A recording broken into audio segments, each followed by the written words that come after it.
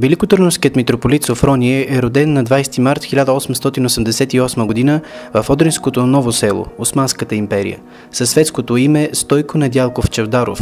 Учи в родното си село в Дедеагач, а про гимназия завършва в българското училище доктор Петър Берон в град Одрин – от 1905 година учи в Цариградската духовна семинария, която завършва през 1911 година. На 18 септември 1911 година в катедралния храм Свети Стефан в Цариград е постриган в монашество с името Софрони и е ръкоположен в еродяконски чин от митрополит Мелети и Велешки. След това служи като дякон при екзархиосиф първи български и писар при българската екзархия. През 1912 година постъпва в Киевската духовна академия, където следва до 1915 година. След освобождението на Вардарска Македония по време на Първата световна война, от 1 април 1916 до 23 септември 1918 година е секретар на Велешката митрополия. След войната от 1 септември 1919 до 1 септември 1922 година е екзархийски дякон и проповедник в Цариград, и учител в българската гимназия в Пера. На 24 април 1921 г.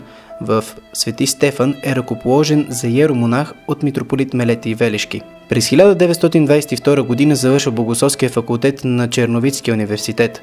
От 1 септември 1922 г. до юни 1924 г.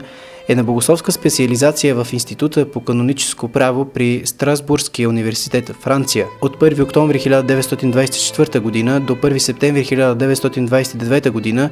той е протосингел на Софийска митрополия.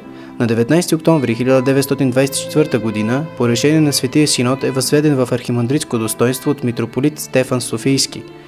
От 1 септември 1929 г. до края на октомври 1931 г. архимандрит Софрони е началник на културно-просветния отдел при Светия Синод.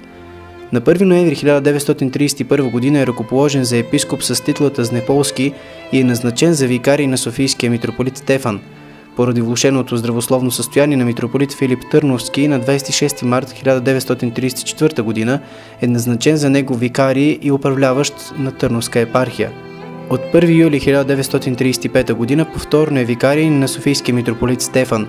На 22 септември 1935 г. епископ Софрони Изнеполски е избран, а на 6 октомври канонически утвърден за Търновски митрополит.